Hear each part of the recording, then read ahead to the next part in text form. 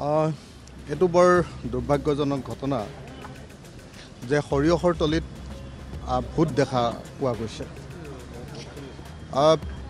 আপুনি ভিক্টৰ দাসে কি কৈছিলে? ভিক্টৰ দাসে কৈছিলে ঐ নামঘৰত কোন আছ? তো লগে লগে বিজেপিয়ে গোটেই হাল্লা হুলস্থুল কৰি ক'লে যে নাই আমি কল খোৱা নাই কল খোৱা নাই কল খোৱা নাই। বিজেপি চৰকাৰখনে নিযুক্তিৰ কেলেংকাৰীৰ কথাটো কোনোপধ্যে বাহিৰলৈ ওলোৱাটো তেওঁলোকে বিচৰা নাই। এই গোটেই ঘটনাটোৰ ওপৰত মুখ্যমন্ত্ৰীয়ে একদম তেওঁতো কৈ থাকে যে শূন্য সহনশীল মুখ্যমন্ত্ৰী নহয় দুৰ্নীতিৰ বিৰুদ্ধে বোলে শূন্য সহনশীল। লগে লগে এনকুৱাৰী দিব লাগিছিলে নে নাই? লগে লগে এনকুৱাৰী দিব লাগিছিলে নে নাই? লগে লগে সভাপতি হিচাপে তেওঁ পদত্যাগ কৰা উচিত আছিলে নে নাই? অভিযোগৰ এনকুৱাৰী কৰিবৰ কাৰণে তেওঁ ছৌমুহূৰ্তত তেওঁ নিজেই সভাপতি হিচাপে পদত্যাগ কৰিব লাগিছিলে নাই? এতিয়া বিজেপিৰ নাক কাণ কাটিছে নে নাই মই নাজানো। তেওঁলোকে নিজে লাজ পাইছে নে নাই মই নাজানো। কিন্তু ইমান যে তেওঁলোকে দুৰ্নীতিৰ প্ৰতি শূন্য সহনশীল এনেকুৱা ধৰণৰ ডাইলগ মাৰি মাৰি এতিয়া যে সৰিয়হৰ তলিত ভূত ওলাইছে এই কথাটোৱে বিজেপিৰ প্ৰকৃত চৰিত্ৰ আৰু চৰকাৰখনৰ আচলতে যিটো দুৰ্নীতিৰ বিৰুদ্ধে যিটো শূন্য সহনশীলতাৰ নীতি তাৰ প্ৰকৃত চৰিত্ৰ অসমৰ মানুহে বুজি উঠিব পাৰিছে। এইটো বৰ দুৰ্ভাগ্যজনক ঘটনা যে সৰিয়হৰ তলিত ভূত দেখা পোৱা গৈছে। বিজেপি চৰকাৰে বাৰম্বাৰ কৈ আছে যে নাই তেওঁলোকে কোনোপধ্যে নিযুক্তিৰ ক্ষেত্ৰত কোনো কেলেংকাৰী কৰা নাই। কিন্তু দেখা গৈছে যে ইটোৰ পিছত সিটো অভিযোগ উঠিয়ে আছে।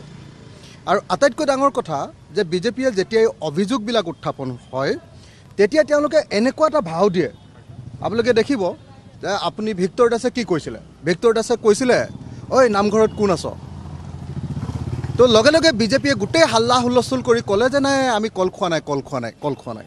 চৰকাৰৰ এই যে কল খোৱা নাই এই কথাটো কিয় হৈছে আজি? আজি সঁচাকৈ যদি ভিক্টৰ দাসে এটা মিছা অভিযোগ উত্থাপন কৰিছিলে তেতিয়াহ'লে মিছা অভিযোগটোৰ ওপৰত গোচৰ দিব লাগিছিলে। কিন্তু গোচৰ কি দিলে?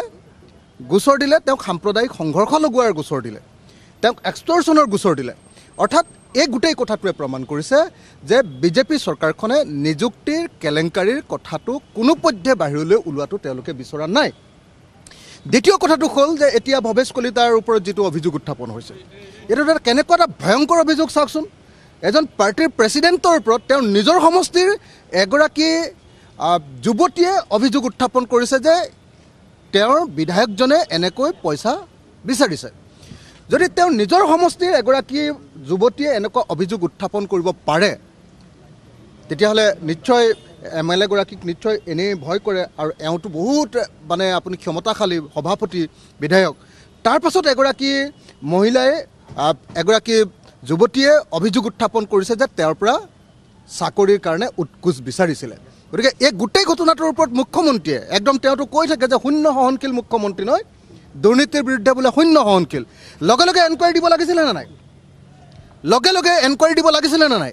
লগে লগে সভাপতি হিচাপে তেওঁ পদত্যাগ কৰা উচিত আছিলে নে নাই? অভিযোগৰ এনকুৱাৰী কৰিবৰ কাৰণে তেওঁ ছৌমুহূৰ্তত তেওঁ নিজেই সভাপতি হিচাপে পদত্যাগ কৰিব লাগিছিলে নাই? এতিয়া বিজেপিৰ নাক কাণ কাটিছে নে নাই মই নাজানো। তেওঁলোকে নিজে লাজ পাইছে নে নাই মই নাজানো।